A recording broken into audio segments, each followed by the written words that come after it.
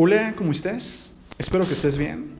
Bastante bien. Si pensamos en cuevas, pensamos en la Tierra. Pensamos en un lugar estrecho, oscuro, frío y donde no queremos estar. Lo increíble es que tal vez si viajamos a otro mundo, nuestros hogares, nuestros trabajos, incluso nuestras ciudades, estarían tal vez en cuevas. Y es que según investigaciones, las cuevas de otros mundos, como por ejemplo Marte, son realmente enormes, que incluso podrían guardar ciudades enteras. Ya hace tiempo te comenté que para crear una colonia fuera de la Tierra se necesitaban al menos 110 personas. Y es que esa sería la cantidad exacta para que la colonia fuera autónoma. Y es que piénsalo, si las colonias en otros mundos no son completamente independientes y en cierto momento necesitan algo de la Tierra, tardarían mucho en obtenerlo. Y esto crearía una gran crisis en ellas. Es por eso que si realmente se quieren poner colonias en otros mundos, necesitamos enviar a mucha gente. Pero, ¿dónde van a estar? Bueno, según la Agencia Espacial Europea, conocida simplemente como la ESA, estudiando las características del universo, se dieron cuenta que tanto Marte como la Luna, que serían los dos lugares más idóneos hasta este momento para formar colonias, existen túneles de lava que son entre 100 y 1000 veces más grandes que los terrestres, por lo que serían cuevas gigantes, y serían un buen lugar para crear ahí las colonias. Estas cuevas, que realmente son túneles, se forman cuando se da una gran erupción.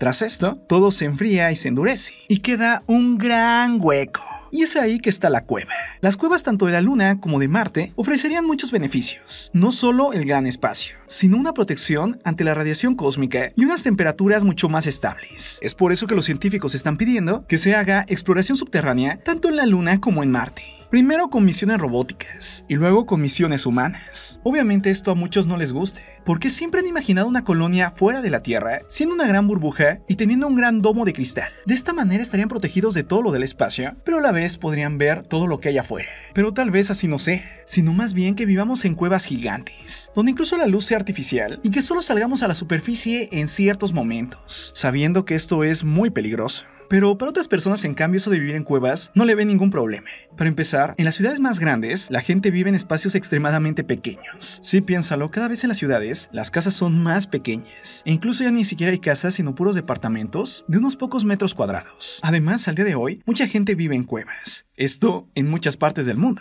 Solo en China se calcula que más de 30 millones de personas viven actualmente en cuevas. Para que te des una idea cuánto es esto, bueno, la Ciudad de México tiene 9 millones de personas. Y eso que es una ciudad bastante grande. Es así que haz la comparación. 9 millones de personas en la Ciudad de México, 30 millones de personas viviendo en cuevas en China.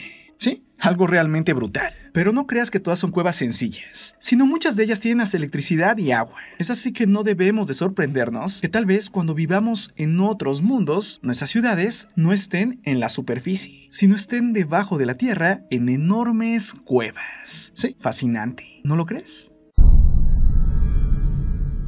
Antes de irme, te invito a que me sigas en mi canal de misterio y horror, llamado Archivos Miedo. Pero ten cuidado, es muy perturbador. Archivos Miedo.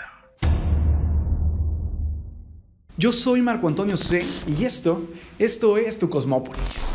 Nos vemos pronto. Un abrazo fuerte. Bye.